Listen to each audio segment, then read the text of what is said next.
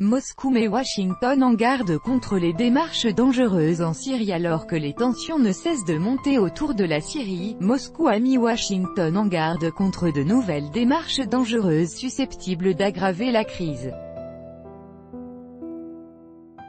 Les États-Unis et leurs alliés doivent s'abstenir de toute nouvelle démarche périlleuse en Syrie, a déclaré mardi la porte-parole de la diplomatie russe Maria Zakharova.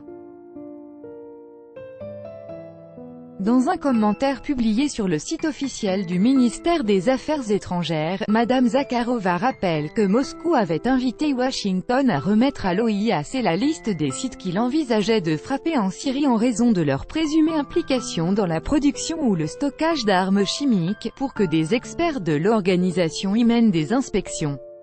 Jusqu'à présent, aucune information n'a été, à notre connaissance, remise à l'OIAC, ce qui témoigne une fois de plus des véritables intentions de la Troïka occidentale fondée sur des considérations sortant du cadre de la loi.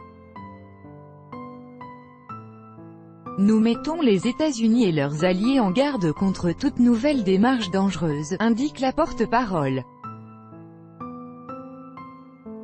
Alors que l'armée syrienne s'apprête à lancer une grande opération de reprise de la ville d'Idlib, la partie russe estime que les États-Unis ont l'intention de se servir d'une mise en scène impliquant des armes chimiques dans la région pour effectuer de nouvelles frappes sur la Syrie.